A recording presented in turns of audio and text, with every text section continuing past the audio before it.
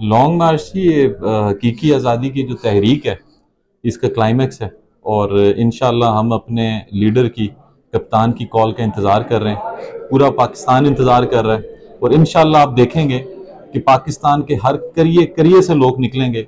और इस हकीकी आज़ादी के लिए इस लॉन्ग मार्च में शामिल होंगे और इन ताला राज करेगी खल के खुदा इन अच्छा,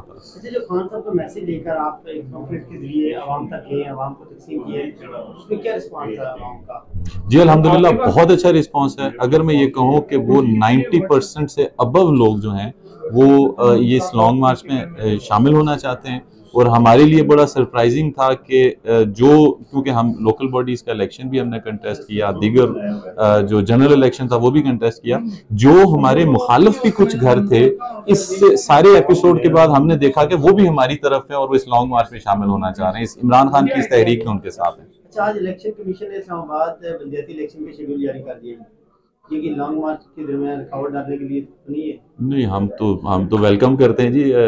हम सियासी लोग हैं और इलेक्शन के लिए तो ये सारी स्ट्रगल चल रही है। और लोकल बॉडीज इलेक्शन हम बिल्कुल वेलकम करते हैं और हम ये ख्वाहिश रखते हैं और उम्मीद रखते हैं कि कराची की तरह इलेक्शन कमीशन भागेगा नहीं और ये इलेक्शन करवा देगा। अमूमन ऐसा ही देखा गया कि इलेक्शन शेड्यूल अनाउंस कर दिया जाता है और उसके बाद भाग जाया जाता है। तो यहाँ पे मुझे उम्मीद है कि इलेक्शन कमीशन ऐसा नहीं करेगा और रिजल्ट्स अभी से लोगों को पता है, जो इस्लामाबाद में लोग रहते हैं, कि यहाँ पे इमरान खान के चाहने वाले लोग हैं और उसी के हक में इन ताला रिज़ल्ट आएँगे।